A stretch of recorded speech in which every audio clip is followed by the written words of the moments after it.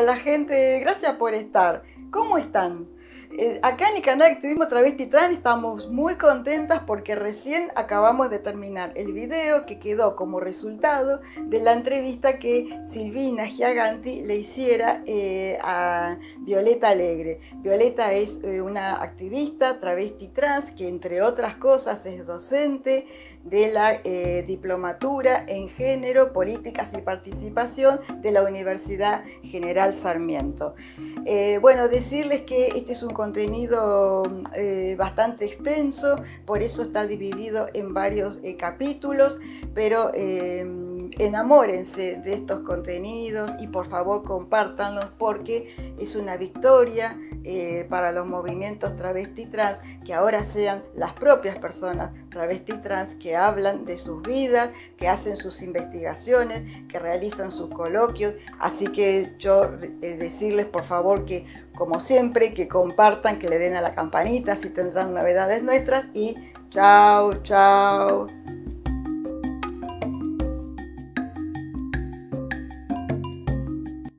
¿Qué pasa con el amor en y de una travesti? Em, ¿Qué pasa con el amor de una travesti hacia otra persona y de otra persona? que es difícil, que es difícil, creo que es difícil para todos, pero en nuestro caso, porque nuestras corporalidades están hipersexualizadas, están este, cosificadas, eh, nosotras mismas también, inclusive nos cuesta mucho, no sé, en mi momento de transición, por ejemplo, a los 13 años, yo no tenía referencias que yo creía que también me comía el discurso del cuerpo equivocado, ¿no? ¿Cuál sería el cuerpo correcto? No lo sabemos y no existe, creo. Pero es, esos discursos que empiezan a operar, ¿no? O que en nuestro cuerpo faltan cosas o sobran cosas. Eh, ¿Cómo nos vinculamos? Yo creo que hay una pregunta fundante que nos hacemos las, las personas travestis y trans, que es ¿quién nos va a amar? ¿no? Porque eh, en una sociedad que nos muestra únicamente dos modelos, que es el femenino y el masculino, y como parte sistémico eso es lo hombre y la mujer, quienes rompemos con esa, con esa binariedad, eh, nos, nos llega esa pregunta, ese interrogante, y muchas veces llega con, con, un avión y con mucho dolor, porque son cuestiones que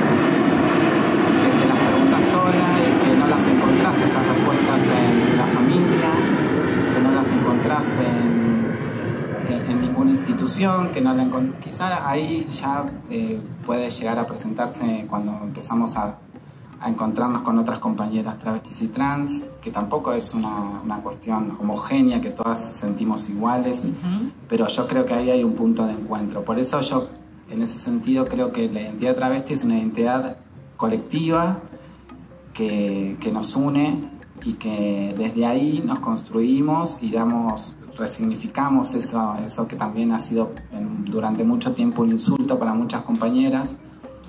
Eh, y a empezar a reconocernos de esas particularidades. En los amores nos pasan un montón de cosas. No sé, por ejemplo, esta cuestión de invisibilizarnos, ¿no? Eh, bueno, eh, a mí me ha pasado que te digan, bueno, no, pero vos para mí sos una mujer. Eso tiene un mensaje de, invisibilizar muy fuerte y mi respuesta, no teniendo la experiencia y el empoderamiento que puedo tener hoy gracias a, lo colectivo y al encuentro con otras y otros, era, bueno, qué bueno, qué bueno que, me veas así, qué bueno, entonces está, va a estar todo bien y que esto que lo otro. Hoy por hoy yo digo, no, si querés salir con una mujer, andate con una mujer, ahí tenés la puerta, hay muchas, porque yo quiero que se me reconozcan mis particularidades. Si yo soy travesti, me posiciono desde ese lugar. Porque aparte este, esas particularidades llegan en algún momento. la sociedad, e inclusive con toda la lo, que pasa con los vínculos, ¿no? hablando de varones cis heterosexuales, eh, la exigencia que hay ahí también, esa cosa de verte linda, con una corporalidad, eh, que no se te note, que no se te note qué, ¿no? eh, que no se te note que sos travesti, que tenés un, pelo de más, que tus facciones quizás no responden a la belleza estereotipada como femenina o como masculina. Yo por lo menos este, a mí me encanta y creo que parte de mi activismo es esto, de empezar a reconocernos con nuestras particularidades y si nos quieren, que nos quieran travestis y trans.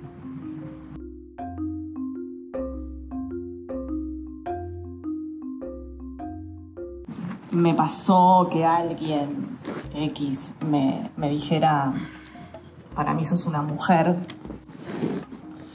Eh, yo lo, lo, lo, que veo ahí es como una inclusión en términos heterocentrados. Total. Sos una mujer, se, se, listo. Sí, sí, totalmente. Es que, bueno, ahí opera esta cuestión que te decía, ¿no? Con el, el, el no poder ver más allá de, de, lo binario, ¿no? Otras posibilidades de, de, existir, de ser y estar en el mundo que, que sí, nosotras venimos a, a mostrar esas otras posibilidades y que, y que le jode, le jode a todo un sistema, ¿no?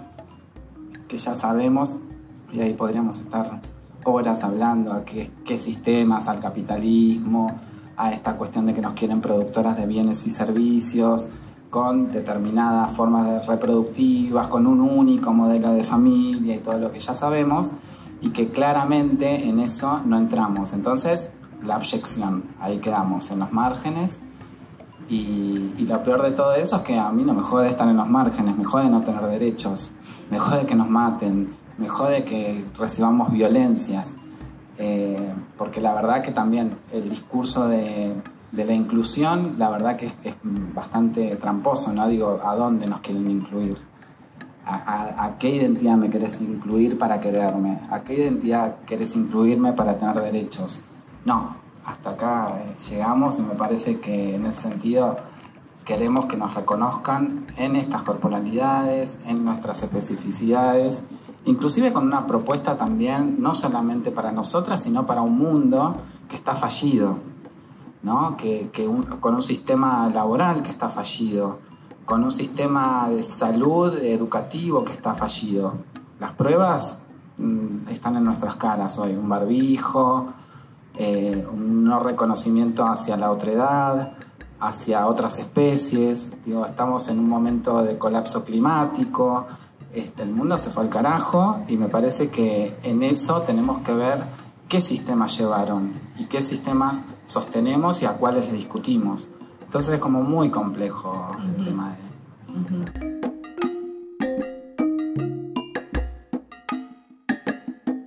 Otro prejuicio hacia las travestis y, y que, que, es que, que, que, van o que, o, o que, gustan o que el objeto de su afecto sexual es el, es el varón heterosis. Es que bueno, es que ahí también opera, digamos, el, la, el, digo, la, la, heterosexualidad obligatoria también nos hace, nos hace pensar de que si yo soy una feminidad, tengo que tener eh, una orientación sexual hacia masculinidades, ¿no? Digo, o, o al revés. Eh, y la verdad que últimamente se, se, se, ven otro tipo de vínculos, digo, chicas trans relacionadas con otras chicas trans, o con un varón trans, o, o, lesbianas, digo, porque sí, claramente este, siempre se confundió el tema de la identidad de género y la orientación sexual. Me pasó a mí, digo, con, con compañeras que le dije, yo estoy saliendo con esta chica y me dice, ah, pero vos sos un loco, ¿para qué transicionaste? Bueno, pasa, sí, porque tenemos tan encarnada esta cuestión de que si sos una feminidad, así todo seas trans, nos tenemos que tener atracción erótico-afectiva por una masculinidad y no siempre es así. Entonces, este, a mí me encanta ver este, digo, toda esa, esa, ruptura que se empieza a generar. Se empieza a generar este, también bueno, con las nuevas generaciones, con esta, esta cuestión de que tienen bien en claro que, bueno, no todas, pero esta cuestión de que son mucho más libres, porque hay toda una lucha también que hoy permite pensarse en otras, en otras, en otras vidas, en otros afectos, más movibles, no estáticos, porque también caemos en las trampas de las taxonomías, ¿no? Lo LGBTIQ, que también este, algunas hablan de orientaciones sexuales, otras de identidades de género, y parece que de ahí no nos podemos mover, ¿no? Y qué pasa cuando una marica gusta de una chica trans, conflicto. Porque también lo taxonómico y encasillarnos en estas cuestiones de gay, lesbiana o, bueno, lesbiana se amplía obviamente no solamente a una orientación sexual, pero el pensar de que caemos ahí, no, ya está, somos toda la vida eso. No, somos un devenir, nos van gustando diferentes cosas, nos pueden, podemos sentir diferentes atracciones por diferentes identidades, orientaciones sexuales, y, eso nos tiene que, digamos, no nos tiene que alterar, nos tiene que dejar tranqui y eh, respondiendo a nuestro deseo que va cambiando y está buenísimo que así sea. Era Loana que decía que las travestis debían hablar más de sus cuerpos del amor y de corporalidades, ¿no? Estamos tan todo el tiempo atendiendo la emergencia de, poder este, sobrevivir en un sistema que nos quiere exterminar, claramente nos quiere exterminar. Entonces parecería que pensar en el amor eh, o en algunas cuestiones que tienen que ver con más sensibles, por así decirlo, eh, parece como un privilegio, ¿no? Entonces pensarse en el amor, en las prácticas sexuales, en, que, claramente están. Lo que pasa es que están únicamente permitidas en un, en un sistema, ¿no? Eh, o en lo clandestino, o en el sistema de la prostitución, o trabajo sexual. Eh, y de ahí no nos podemos mover, digo. Pasa un montón de que se dan los vínculos, está el deseo, está, pero está únicamente en un lugar en el consumo, en la hipersexualización. a nosotras nos dicen, eh, te invito a tomar un café. Nos preguntan cuánto cobras. Más o menos así. Entonces digo, cuando empezás a, tener ese tipo de propuestas, eh, y no por moralista, ¿eh? porque podría decirle tranquilamente 500 pesos, pero no. digo, ahí te das cuenta de cómo, cómo se encaran los vínculos y cómo se ponen nuestros cuerpos, nuestras identidades, por otro canal, ¿no? Que es el, prostitutivo. Sí, eh, esa, famosa frase de, de, la prostitución como destino. Exacto. ¿No? Eh, como si no hubiera ninguna otra alternativa posible en, en la vida de una travesti. ¿No? ¿Qué pasa con eso? Sí, yo creo que en realidad ahí el tema es cuando es un destino, ¿no? Cuando, porque, y teniendo en cuenta también, sin entrar en el debate de la prostitución o trabajo sexual, eh, cuando termina siendo un único destino para una, para una, por una cuestión identitaria aparte, ¿no? Sin tener en cuenta que eso, que es por una cuestión identitaria y también por una cuestión de que tenés que sobrevivir y sin tener en cuenta tampoco que somos niñas expulsadas de hogares heterosexuales entre los 8 y los 13 años de edad. Eh, no somos una persona, personas adultas que decimos, bueno, a ver qué alternativas tenemos, bueno, acá podemos ir a hacer esto, podemos ir a hacer lo otro, tenemos estas opciones, no. Es únicamente eh, ese sistema en el cual estamos cloacalizadas, diría también Loana. Entonces, cuando es así, es cuando lo tenemos que poner en tensión, porque no hay posibilidades. Eh, y si hay posibilidades y es tu elección, es la elección de cualquier persona, genial, derechos. Entonces digo, eh, ese, eso me parece que, que, es el problema y aparte de que justamente a mí no me gusta pensar en términos binarios, tampoco me gusta pensar en términos binarios trabajo sexual o regulacionismo, abolicionismo, Digo, me parece que nos tenemos que correr, que aparte son figuras jurídicas, nos tenemos que correr y entrar en diálogo, más allá de que sabemos que es un debate interminable dentro de los movimientos feministas y que de muchos años y cada vez más virulento, pero me parece justamente que tenemos que entrar en diálogo y tratar de, romper las matrices que nos están llevando a, a seguir fraccionándonos.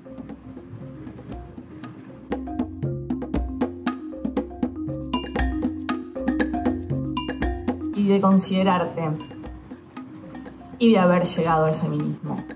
¿Cómo llegaste? Hice una diplomatura en género pues, en política en el 2015 eh, del cual me, obviamente me brindó un montón de herramientas para, para entender. Yo venía de una relación bastante traumática, con violencia, y en realidad eh, las herramientas que me brindó eh, en ese momento esa diplomatura, que obviamente eran todas cuestiones del feminismo, me hicieron dar cuenta de que no tenía que personalizar, no era este sujeto puntualmente, era una matriz que, estaba, que construía este tipo de sujetos. Entonces empecé a, ver las violencias, a ponerle nombre a un montón de cosas que no tenía, inclusive personales. Conozco a Marlene, a Marlene Guayar en esa diplomatura. Eh, y bueno, me cambió, me cambió la mirada, por supuesto. Así que ese creo que fue uno de los, de los momentos que empiezo a, a tomar herramientas del feminismo. Y desde ese momento habitarlo eh, con diferentes organizaciones. Fundamos una organización con Susie Shock y con Marlene Guayar, la colectiva Loana Berkins. Eh, sí, sí, me considero feminista, porque tiene que ver con, con una ética para mí el feminismo, más allá de de las campañas a las cuales nos vamos inscribiendo en determinados momentos, ¿no? La, ley de interrupción eh, legal del embarazo, eh, la ley de cupo laboral trans, digo, son todas inscripciones que hacemos y vendrán otras eh, que, que, tienen que ver con el marco de derechos humanos, con la, con la autonomía, con decidir sobre nuestras corporalidades, nuestros deseos. Y esas son herramientas que nos han brindado los diferentes feminismos. Eh, en realidad sí me considero feminista eh, creo que no hay por supuesto un solo feminismo, que justamente eso es lo que a veces viene a confundir un poco el feminismo con un sujeto político que es la mujer y, eh, y ahí me parece que se generan algunas confusiones, pero, pero sí, Sí, por supuesto que me considero feminista.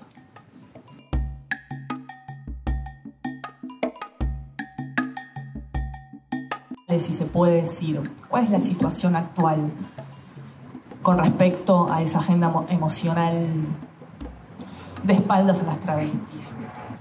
Ante, por ejemplo, un crimen hacia una, a una compañera travesti trans no tiene las mismas repercusiones, eh, nos ha pasado, digo, no hace mucho tiempo, por ejemplo, crímenes de compañeras que éramos 20, 30 solas llorando en una plaza. Y ahí no estaban todos los movimientos feministas, digo, no estaban los movimientos de mujeres, entonces eso nos duele también muchísimo porque nos pone, nos pone en evidencia de que, de que no, no, no valen esas vidas al igual que otras, ¿no?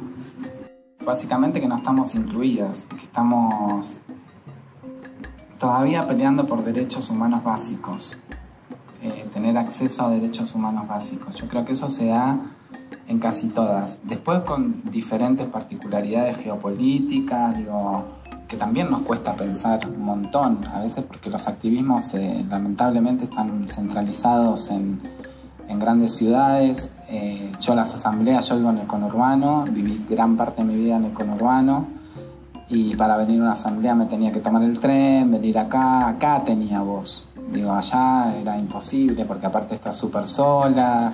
Eh, no sé, la vez que me quise hacer la loca, que fui al municipio a hacer ahí un, par de movidas, me amenazaron, digo, eh, es, es, muy jodido como lo, sola que estás en, en algunos lugares y no me quiero imaginar, yo estoy a 30 kilómetros, no me quiero imaginar en una provincia, en Salta, en diferentes provincias, querer activar, querer desarticular un montón de hipocresías, de desigualdades y, poder organizarte con otras compañeras para decir, bueno, hasta acá llegamos eh, y que, esa potencia que da lo colectivo se pueda llegar a gestar, digo, es, es muy difícil. Entonces, en eso yo creo que, lo que nos encontramos todas todavía es en un proceso de transformación, de lucha eh, por justamente el acceso a derechos humanos básicos. Básicos. Y bueno, ni hablar de la agenda emocional, como, como decía, que me refiero a, esto vincular, ¿no? Con otras y otros, con, con, este, con desarticular la hipocresía en cuestiones afectivas, en, el consumo de nuestros cuerpos, en que no nos puedan ver como, como personas dignas de ser amadas, de ser deseadas, que eso pueda transcurrir eh, con determinada normalidad, que podamos ir de la mano en la calle con quien queremos, eh, un montón de cuestiones que parecen chiquititas, pero que son enormes y que somos, tenemos el total derecho a vivirlas. Empezó un poco la ley de identidad de género, ¿no? Eh, con todo lo pionera y ejemplar que ha sido. Eh, aún así, es una inclusión en términos heterocentrados también es que el sistema es así, y, obviamente todo lo jurídico también. En realidad yo creo que igualmente la ley de identidad de género viene a romper con, esta cuestión binaria y, en realidad es correlativa a otros sistemas. Por ejemplo, digo, las posibilidades que están actualmente en el cambio registral son binarias pero son binarias porque dependen de otras instituciones, como por ejemplo el RENAPER, que te reconoce lo femenino y lo masculino. Entonces, la ley no sé si es binaria, pero como está correlacionada con otras instituciones, eh, se convierte en algo binario. Entonces tenemos que ir a dar otras discusiones o llevar las discusiones a otras instituciones que reconozcan otras identidades.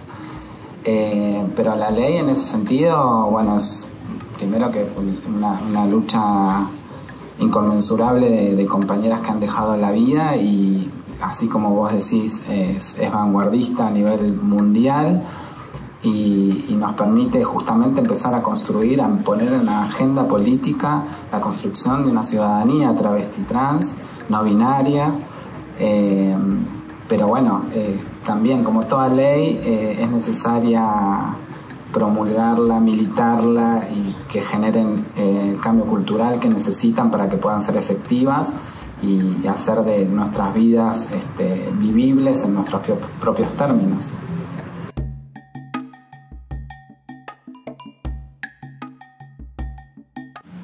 ¿Cómo es el, recorrido universitario para, para una travesti?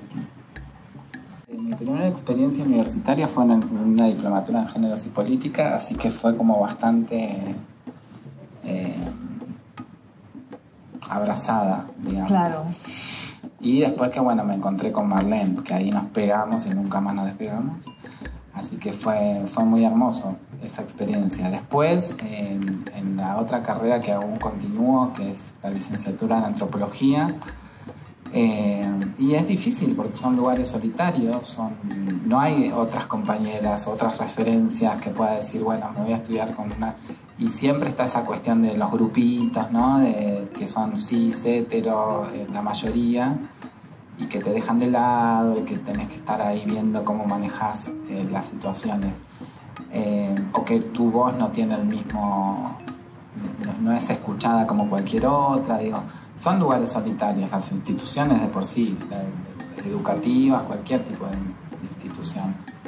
Así que en ese sentido, para mí fue, al principio fue bastante difícil, pero, pero después no, fui, fui con, otra cabeza, con otro, ya habiendo transitado los activismos, los feminismos, eh, yo iba a romper ¿viste? Ahí como a poner en tensión, a discutirle a los profesores y ya me veían y dijo, qué pesada.